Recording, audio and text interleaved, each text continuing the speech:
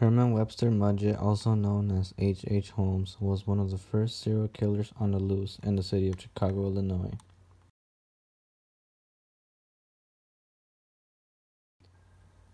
It is believed that he has killed more than 200 people while only confessing to 27 of the murders.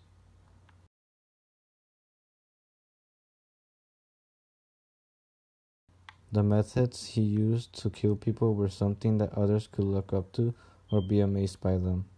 But first, let's go in depth behind Holmes' background on who he was.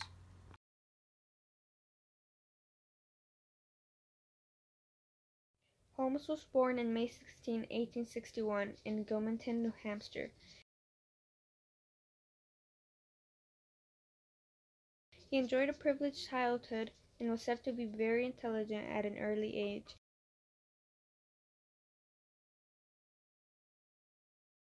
He was exposed to an interest in medicine, which is a grave indication to a haunting sign.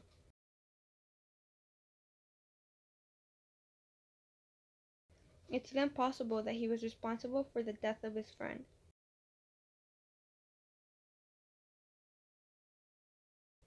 His life of crime soon started when he did frauds and scams.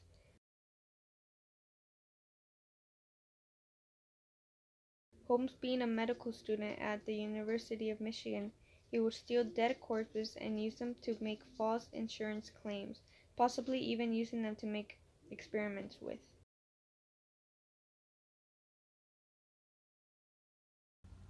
In 1885, Holmes had arrived at Chicago, Illinois.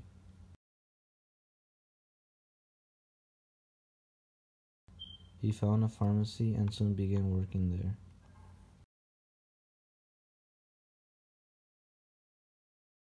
He decided to take over the pharmacy and made an agreement with the owner.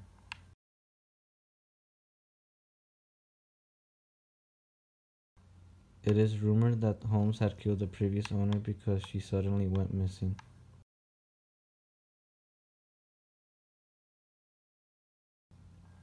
In front of the pharmacy that he owned, he built a three story building that would soon be known as the Murder Castle.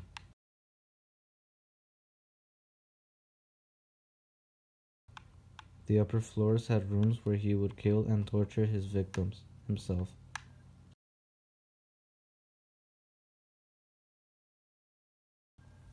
There were also trapdoors that would send the bodies to the basement, where he would burn the bodies or dispose the bodies.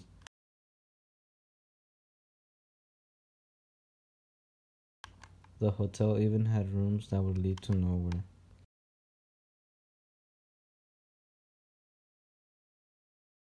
Later on, in 1893, he opened a three story home and turned it into a hotel. Holmes would put flyers throughout the city of Chicago, and the flyers would say that Holmes was a wealthy man who was loyal and was looking for a wife.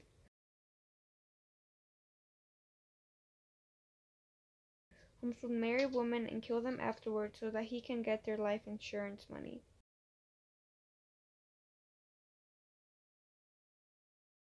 Other victims were lured there by the offer of employment. Sooner or later, they would be murdered.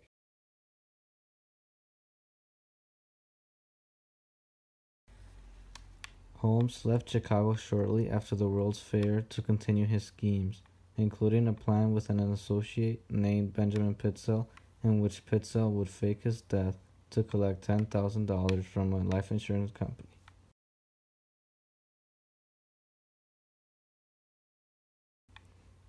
Jailed at one point for another fraud, Holmes confided in fellow inmate and notorious outlaw Marion Hedgepeth about the life insurance scheme.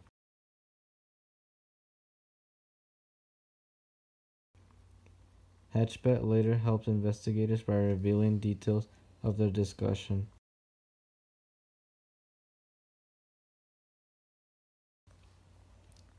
While the authorities eventually identified Howard as Holmes, they did not catch on soon enough to stop his final murders.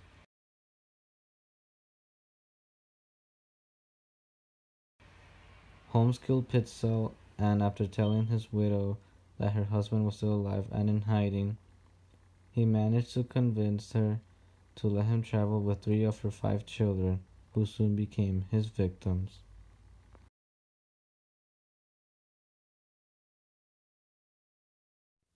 After several weeks of outrunning authorities, Holmes was finally apprehended in November 1894.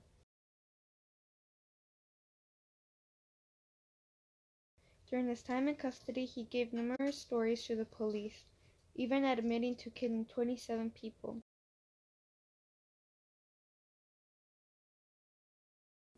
Convicted in 1895, Holmes appealed his case, but lost.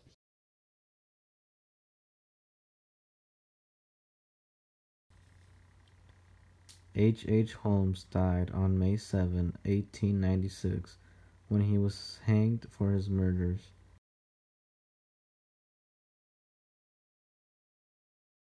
He was buried in Philadelphia, Pennsylvania.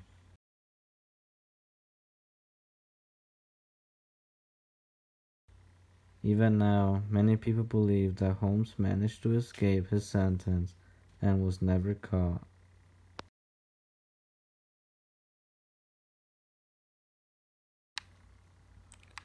Holmes was a criminal mastermind and was the cause of many deaths in the name of money.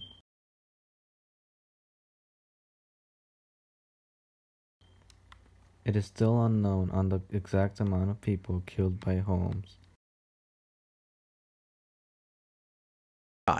Number 5.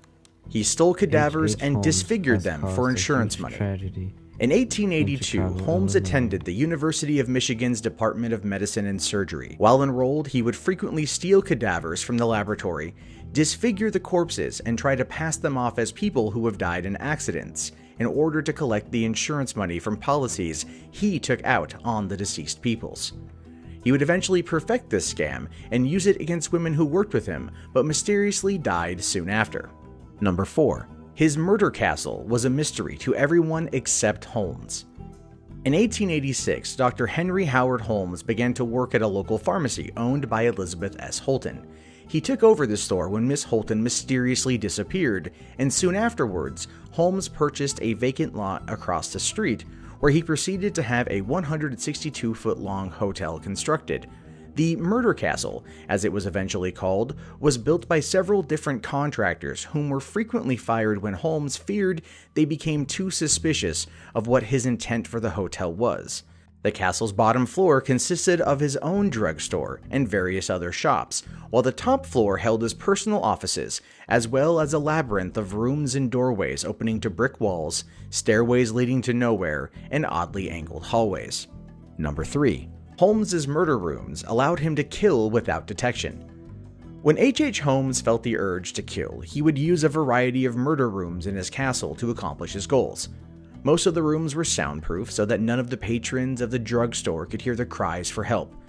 One such room was a bedroom fitted with gas lines that would allow Holmes to asphyxiate his victims. Another room contained a secret hanging chamber where he could hang them. There was also a room that was completely sealed by brick that could only be entered via a trapdoor in the ceiling. Holmes would lock his victims in that room and leave them to rot. Additionally, Holmes also had a bank vault installed in his hotel where he would leave young women to perish. Number 2. Selling his victims to science. After H.H. H. Holmes was done with his prey, he disposed of them via a secret metal chute or a dummy elevator which led to the basement. There, he and his assistant, Benjamin Pitezel, would dissect some of the bodies, strip them of their flesh, and craft them into skeleton models that were later sold to medical schools. The other victims, however, were buried in lime pits, incinerated in giant furnaces, or put in barrels of corrosive acid. Number 1. He was captured because of a horse. In 1894, after being screwed out of a $500 payday from Holmes, his former cellmate and convicted train robber Marion Hedgepeth began talking to the authorities about Holmes' insurance scams. While the police didn't have enough evidence to arrest Holmes for the scam, they were able to track him to Boston and apprehend him on an outstanding horse theft warrant from Texas. Once in police custody, Holmes was terrified of going back to Texas for the horse theft, so he confessed to faking Benjamin Pitezel's death by using a cadaver from a nearby cemetery. But the story didn't hold up under scrutiny after the investigator confronted Holmes about the name of the cemetery and its location. H. H. Holmes was convicted for the murder of Benjamin Pitezel and eventually hung by the neck until dead on May 7, 1896, at the Philadelphia County Prison.